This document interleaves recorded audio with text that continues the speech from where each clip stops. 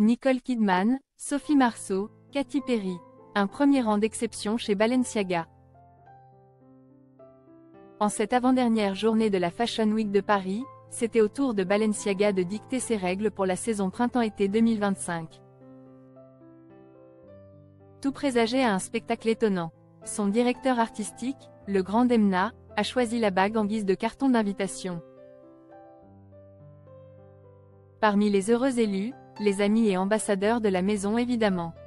Sous d'imposants parapluies noirs. Nicole Kidman est apparue resplendissante et très souriante dans sa tenue couleur ébène. Même credo pour les actrices françaises Laetitia Casta et Sophie Marceau. Cachée sous des lunettes de soleil noir mais le sourire aux lèvres.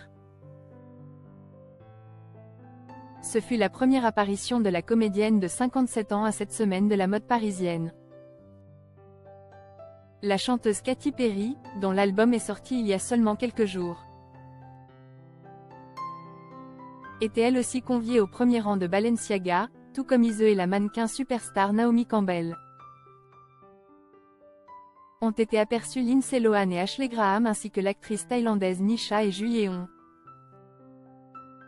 Chanteur du boy band The Boys et adulé par des millions de fans, présent ce lundi soir pour scander haut et fort son prénom. Marée noire à l'entrée des Invalides ce lundi 30 septembre. Demna Jevasalia, directeur artistique de Balenciaga.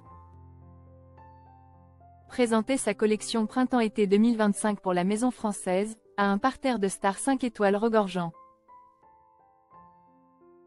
De célébrités tricolores, américaines, chinoises ou encore britanniques. Présents parmi les VIP, Gala a capturé chacune de leurs arrivées. Un seul constat, tous portaient du noir.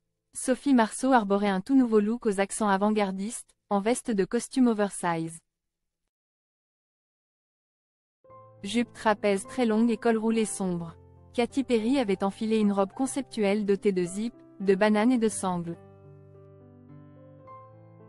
Imitant un sac déconstruit, même son QR code imprimé sur sa paume gauche, amenant directement sur le site de son nouvel album 143, était noir. Dans le registre robe noire moulante, on retrouve Nicole Kidman, ambassadrice de la maison, qui s'est laissée séduire par une pièce. à manches ultra longues et à la jupe esprit crayon, dotée de rubans tombant jusqu'au sol et traînant derrière elle. Lunettes noires et stiletto pointus tout aussi dark complétaient son allure. Laetitia Casta avait une version mini. Au col asymétrique et à une longue traîne, portée sur des collants opaques avec un bandeau noir dans sa chevelure brune. Ise a préféré miser sur un manteau aux épaulettes exagérées, marque de fabrique de Demna Vassalia, associé à un pantalon de cuir et à bijoux en argent.